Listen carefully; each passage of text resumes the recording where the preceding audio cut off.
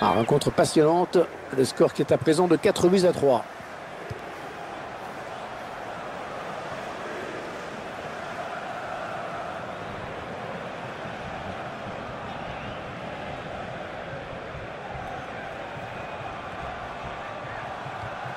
Peut-être l'égalisation. Un magnifique plongeon hein, sur ce ballon qui était difficile à négocier. Et ça file en corner.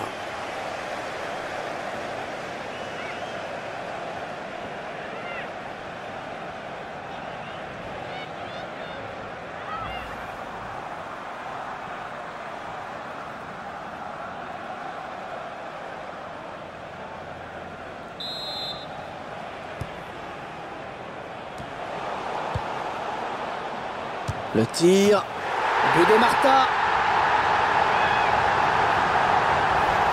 Le but au ralenti. On voit le corner qui a amené le but. Et cette très belle frappe qui n'a laissé aucune chance à la gardienne.